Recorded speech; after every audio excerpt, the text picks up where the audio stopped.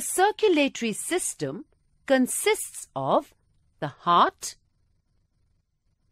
and blood vessels. If you put your hand on the left side of your chest, you feel something beating. This beating is from your heart. Your heart is the size of your fist. The heart is like a pump. It pumps the blood to all parts of your body. It works 24 hours.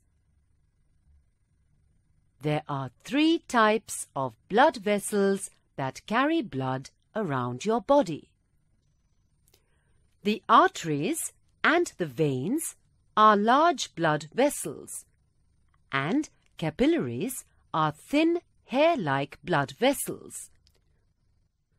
Arteries generally carry pure blood from the heart.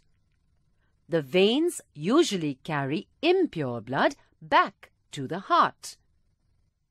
Doctors use an instrument called stethoscope to listen to the heartbeat.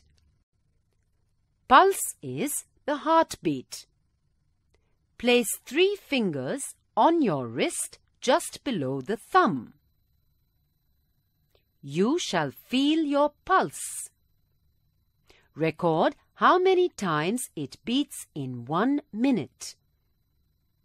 The function of blood is to carry digested food and oxygen to all parts of your body, to each and every cell.